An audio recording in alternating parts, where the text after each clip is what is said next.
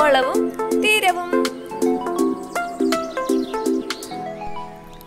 Hi dears എല്ലാവർക്കും പുതിയ വീഡിയോയിലേക്ക് സ്വാഗതം.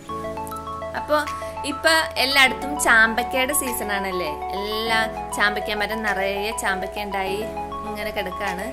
അപ്പൊ ഈ ചാമ്പക്കകൾ നമ്മൾ കുറേയൊക്കെ നമുക്ക് കഴിക്കാൻ പറ്റും. ഇത് പെട്ടെന്ന് ഒരാഴ്ച കൊണ്ട് തന്നെ ഇത് പഴുക്കും. പെട്ടെന്ന് തന്നെ ഇതെല്ലാം ചാടി പോവുകയും ചെയ്യും. അപ്പൊ നമ്മൾ ഉണ്ടാവണത് അറിയാതെ തന്നെ അത് പെട്ടെന്ന് അതിന്റെ സീസൺ കഴിഞ്ഞ് അത് ചാടി പോകും. അപ്പോൾ കുറേയൊക്കെ നമ്മൾ ഉപയോഗിക്കും. കുറേയൊക്കെ വേസ്റ്റ് ആവും. അപ്പൊ നമ്മൾ ഇങ്ങനെ വേസ്റ്റ് ആയി പോണ ചാമ്പക്കകൾ വേസ്റ്റ് ആവാതെ നമുക്ക് എങ്ങനെ ഇത് പ്രിസർവ് ചെയ്ത് വയ്ക്കാം അപ്പൊ ഇന്ന് നമുക്ക് ചാമ്പയ്ക്ക വെച്ചിട്ട് സ്ക്വാഷ് ഉണ്ടാക്കാം സ്ക്വാഷ് ഉണ്ടാക്കി വെക്കുകയാണെങ്കിൽ അത് കുറച്ച് നാൾ നമുക്ക് ഫ്രിഡ്ജിൽ സൂക്ഷിച്ചു വെക്കാം. അപ്പോൾ ചാമ്പയ്ക്കയുടെ സീസൺ കഴിഞ്ഞാൽ നമുക്ക് വെള്ളം കലക്കി കുടിക്കാം. ദാഹത്തിന് നല്ലതാണ്. ചാമ്പയ്ക്ക ഏറ്റവും നല്ല സാധനമാണ്. നമുക്ക് രക്തം ഉണ്ടാവാനും നമ്മുടെ ദാഹം മാറാനും ക്ഷീണം മാറാനും ഒക്കെ ചാമ്പയ്ക്ക നല്ലതാണ്. കുട്ടികൾക്കാണെങ്കിലും ഉപ്പൊക്കെ കൂട്ടി കഴിക്കാൻ നല്ല ഇഷ്ടമാണ്. അപ്പോൾ നമുക്ക് ചാമ്പയ്ക്ക വെച്ച് സ്ക്വാഷ് ഉണ്ടാക്കാം. അപ്പോൾ കണ്ടില്ലേ നല്ല ഭംഗിയാണ് ഇത് മരത്തിൽ ഉണ്ടായി കിടക്കണ കാണാൻ. അപ്പോൾ നമുക്ക് കുറച്ച് ചാമ്പയ്ക്ക പറിച്ചെടുക്കാം.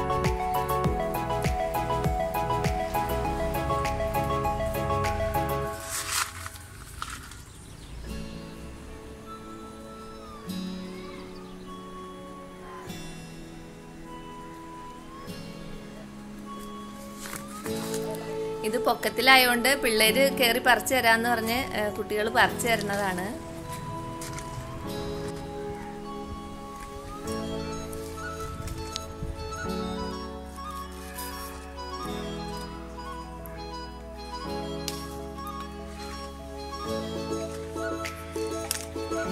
നമ്മൾ സ്ക്വാഷ് ജാമൊക്കെ ഉണ്ടാക്കുമ്പോൾ നല്ല പഴുത്ത ചാമ്പയ്ക്ക എടുക്കണം. ചാമ്പയ്ക്കകത്ത് മൊത്തം ഉറുമ്പാണ് അതിനെയൊക്കെ കളയണം. അപ്പോൾ നല്ല പഴുത്തത് നോക്കി സെലക്ട് ചെയ്യുക ഞങ്ങൾ കുറേ പഴുത്ത ചാമ്പയ്ക്ക കൊണ്ടുവന്നിട്ടുണ്ട്. നമുക്കിത് കഴുകിയെടുക്കാം. നമ്മൾ മരത്തിൽ നിന്ന് ഡയറക്റ്റ് പറിച്ചെടുത്തതാണ്. എന്നാലും നമുക്കൊന്ന് കഴുകിയെടുക്കാം.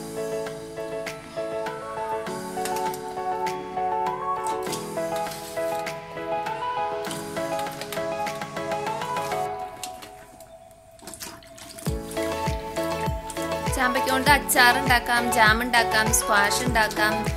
നമുക്ക് നേരെ മിക്സിയിലിട്ട് ജ്യൂസായിട്ട് അടിച്ചു കുടിക്കാം അങ്ങനെ ഒരുപാട് കാര്യങ്ങൾ ചെയ്യാം കേട്ടോ.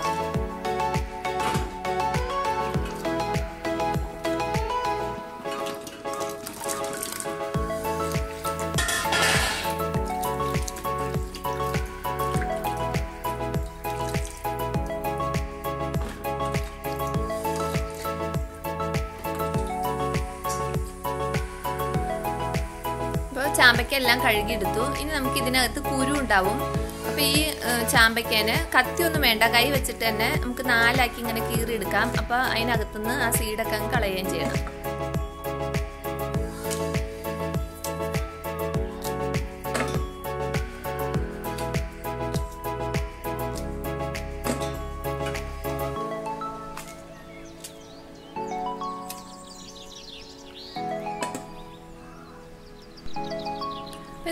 ആ, കുരുവെല്ലാം കളഞ്ഞ് ക്ലീൻ ആക്കി വെച്ചിട്ടുണ്ട്.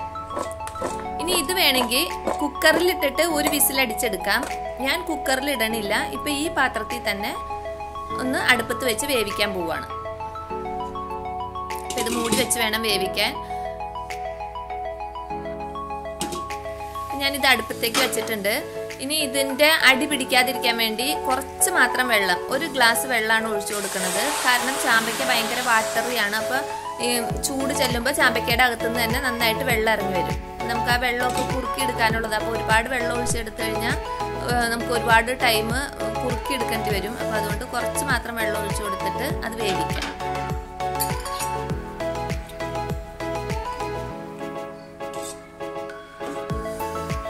ഇടയ്ക്ക് അടി പിടിക്കാതെ നമ്മൾ ഇളക്കി കൊടുക്കണം. കുക്കറിലാണ് വേവിക്കണമെങ്കിൽ ഒറ്റ വിസിലടിച്ചെടുത്താൽ മതി.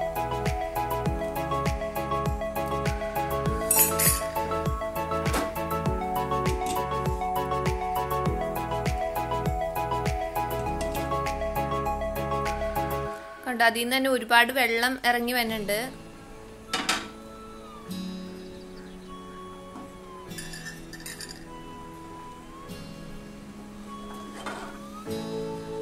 നിങ്ങൾക്ക് കാണാൻ പറ്റുണ്ടോ എന്നറിയില്ല. ഒരു ഗ്ലാസ് വെള്ളം ഒഴിച്ചുള്ളെങ്കിലും ഇപ്പൊ പാത്രം വെള്ളമായിട്ടുണ്ട്.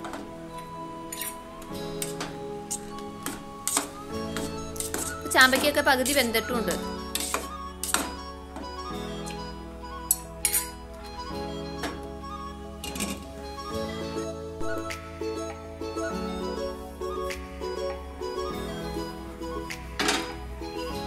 ഇടയ്ക്കിടയ്ക്ക് ചെക്ക് ചെയ്യാം. അധികം വേവില്ലാത്ത സംഗതിയാണ് ഇപ്പം എന്റെ കയ്യിലിരിക്കണത്. ഞാൻ മുറ്റത്ത് പോയപ്പോൾ ചെറുനാരകത്തിന്റെ ഇല നിൽക്കണ കണ്ടു. അപ്പം ഞാൻ ഒരു ഫ്ലേവറിന് വേണ്ടി അത് പറിച്ചുകൊണ്ട് എന്താണ് അത് ഒട്ടും നിർബന്ധമില്ല ഞാൻ കണ്ടപ്പോൾ പറിച്ചെടുത്തുകൊണ്ട് വന്നതാണ്. അപ്പോൾ ചാമ്പയ്ക്ക വെന്തിട്ടുണ്ട്. തീ ഓഫ് ചെയ്തതിന് ശേഷം ഞാൻ ആ നാരകത്തിന്റെ ഇല ഇതിനകത്തേക്ക് ആക്കി വെച്ചിട്ട് ചാമ്പയ്ക്ക വെച്ചിട്ട് തന്നെ ഒന്ന് മൂടി കൊടുത്തു. അപ്പോൾ അതിൽ നിന്ന് ഫ്ലേവർ ഒരു സ്മെല്ലൊക്കെ ഇറങ്ങുകയാണെങ്കിൽ ഇറങ്ങിക്കോട്ടെ എന്ന് വിചാരിച്ചിട്ടാണ്. ഞാൻ രണ്ട് പാത്രങ്ങൾ എടുത്തു വെച്ചിട്ടുണ്ട്. അതിൽ ഒരു പാത്രത്തിലേക്ക് നമുക്ക് ഇതിന്റെ നീരും മാറ്റണം. ഒരു പാത്രത്തിലേക്ക് ചാമ്പയ്ക്കയും മാറ്റാം.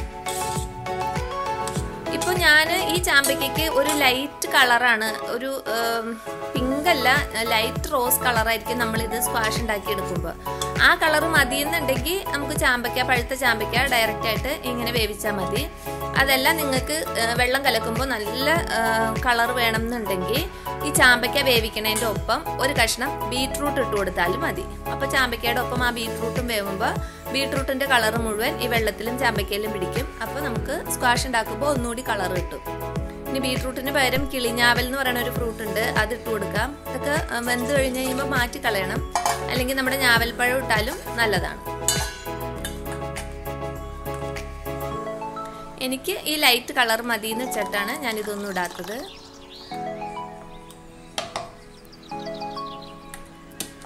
അപ്പോൾ ചാമ്പയ്ക്കയുടെ നീരൊരു പാത്രത്തിൽ മാറ്റി ചാമ്പയ്ക്ക മിക്സിയിൽ അടിച്ചെടുക്കുകയാണ്. അപ്പോൾ ആ നമ്മൾ ചാമ്പയ്ക്കയിൽ നിന്ന് തന്നെ കുറച്ച് വെള്ളം കിട്ടും. വേറെ വെള്ളം കൂട്ടിയൊന്നും അടിക്കരുത്. ചാമ്പയ്ക്കയുടെ വെള്ളം തന്നെ വെച്ച് നമുക്കത് അടിച്ചെടുക്കാം.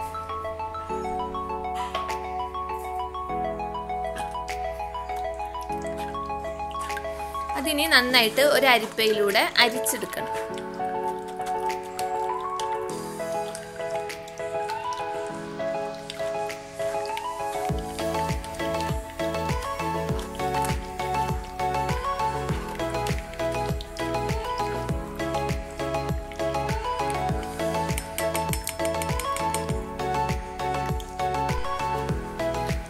ഞാൻ എല്ലാം അരിച്ചെടുത്തിട്ടുണ്ട്. കണ്ടോ? മൊത്തം നമുക്ക് ഇത്രയും നീരാണ് കിട്ടിയത്. ഇത് വീണ്ടും ഞാൻ ഈ പാത്രത്തിലേക്ക് ഒഴിക്കുകയാണ്. കാര്യം എന്താണെന്ന് വെച്ച് കഴിഞ്ഞാൽ നമുക്ക് ഇതിന്റെ ഒരു അളവ് കിട്ടണം.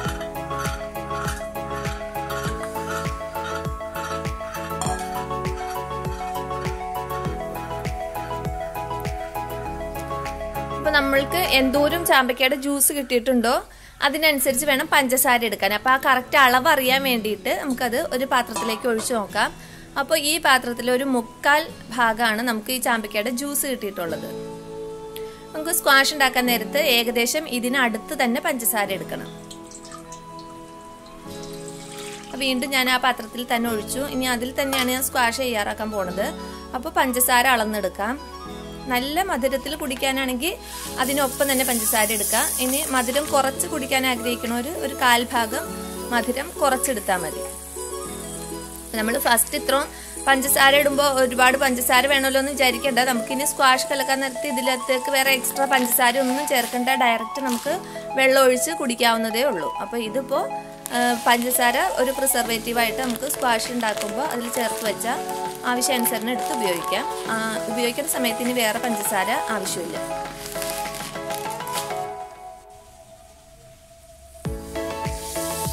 അപ്പോൾ ഞാൻ ആ പഞ്ചസാര അളന്ന് ഈ ജ്യൂസിലേക്ക് ഒഴിച്ചു.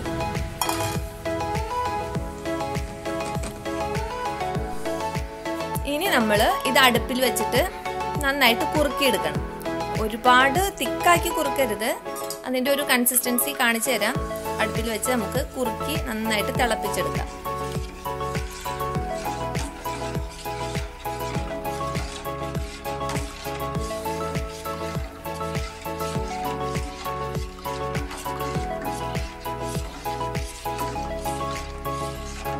ഇങ്ങനെ ഇത് കുറച്ച് സമയം പിടിക്കും. കുറച്ച് സമയം നമ്മൾ ഇങ്ങനെ കുറുക്കി എടുക്കേണ്ടി വരും.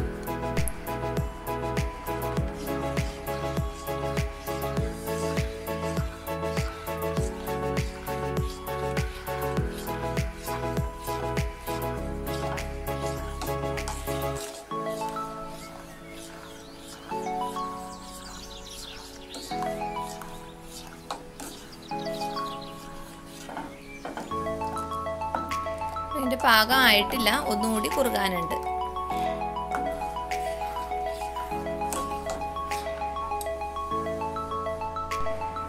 ഇപ്പൊ കണ്ടോ ഏകദേശം പാകമായി തുടങ്ങി. നമ്മൾ ഇതിനകത്ത് ഒരു കളറും ചേർത്ത് കൊടുത്തിട്ടില്ല. പക്ഷെ എന്ത് ഭംഗിയുള്ള കളറാണ് അത് തിളയ്ക്കണ കാണുമ്പോൾ അല്ലേ? നല്ല ഒരു റോസ് കളറ്.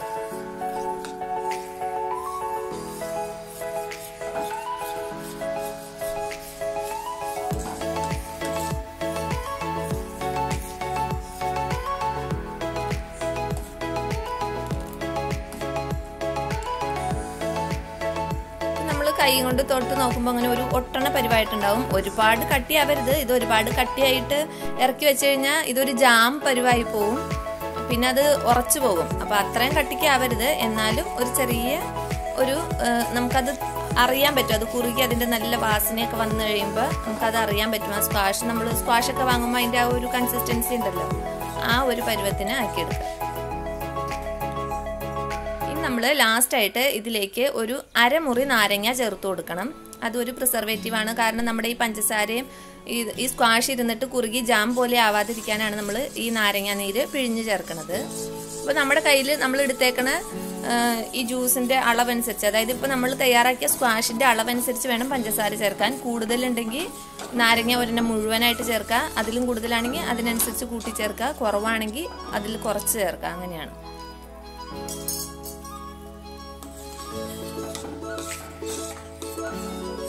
ഇതാ ഇതാണ് ഇതിന്റെ പാകം.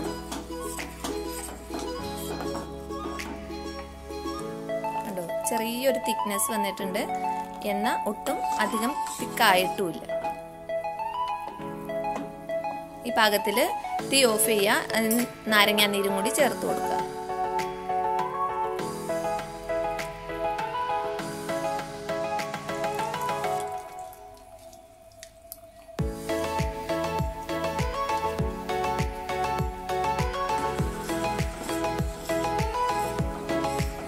അതിനുശേഷം നന്നായിട്ട് അത് ഇളക്കിയിട്ട് നമുക്ക് അടുപ്പിൽ നിന്ന് വാങ്ങി മാറ്റി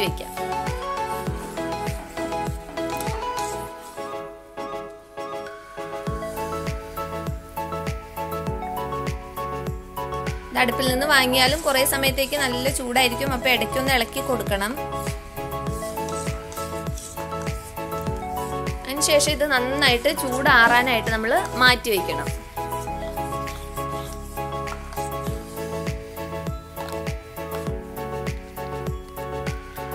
നല്ല പോലെ ചൂടാറിയതിന് ശേഷം നമുക്കിത് കുപ്പിയിലാക്കാം.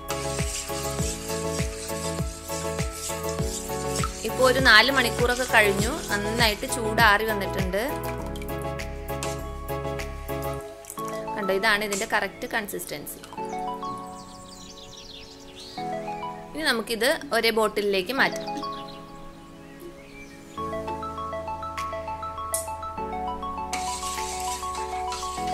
ഇത് അരിക്കാനോ ഒന്നും ചെയ്യാനില്ല. നമുക്ക് ഡയറക്റ്റ് കുപ്പിയിൽ ഒഴിച്ചിട്ട് ആവശ്യാനുസരണം കലക്കി കുടിച്ചാൽ മാത്രം മതി.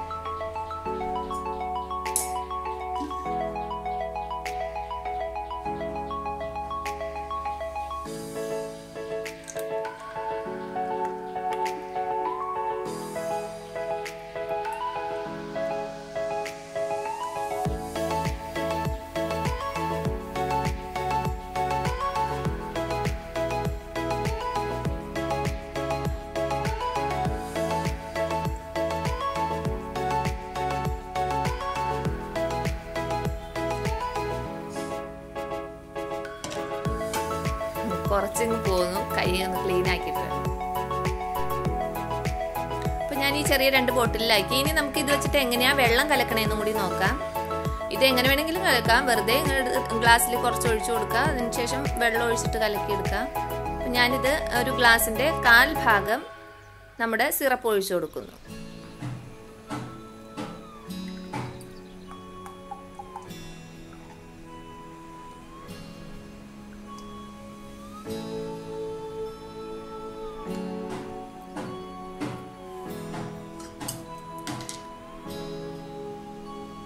ഇതിലേക്ക് നല്ല തണുത്ത വെള്ളം ഒഴിച്ചു കൊടുക്കുക. ഇത് ഐസ് വാട്ടറിൽ തന്നെ ചെയ്യണതാണ് ഇതിന് കൂടുതൽ ടേസ്റ്റ് കിട്ടുന്നത് പിന്നെ തണുപ്പ് അധികം പാടില്ലാത്തവര് നല്ല കിണറിൽ നിന്ന് കോരിയ വെള്ളം എടുത്തിട്ട് ചെയ്താലും നല്ലതാണ്. ഇനി ജസ്റ്റ് സ്പൂൺ വെച്ചൊന്ന് ഇളക്കി കൊടുത്താൽ മതി.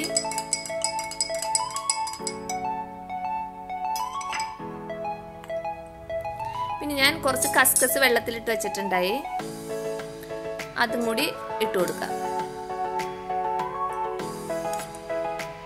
ഇതിപ്പോൾ ലൈറ്റ് ആയിട്ടുള്ള കളറാണ് ഇതിനകത്തേക്ക് ഈ സമയത്ത് നാരങ്ങാനീര് വേണമെങ്കിൽ നന്നായിട്ട് പുളി ഇഷ്ടമുള്ളവർക്ക് ഇട്ട് കൊടുക്കാം. എനിക്കിതിങ്ങനെ ലൈറ്റ് ആയിട്ട് ഇങ്ങനെ കുടിക്കണതാണ് ഇഷ്ടം. അപ്പം ഞാൻ പുളിയൊന്നും ചേർക്കണില്ല. നിങ്ങൾക്ക് വേണമെങ്കിൽ നാരങ്ങാനീരും കൂടി ചേർത്ത് കൊടുക്കാം. അപ്പോൾ ഐസ് ക്യൂബ്സ് ഇട്ട് കൊടുക്കാം.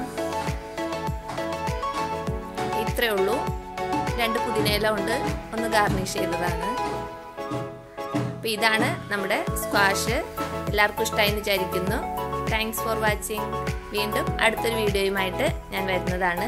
നിങ്ങൾക്ക് എന്റെ ചാനൽ ഇഷ്ടമാവുകയാണെങ്കിൽ ഒന്ന് സബ്സ്ക്രൈബ് ചെയ്യുകയും ലൈക്ക് ചെയ്യുകയും ചെയ്യണേ.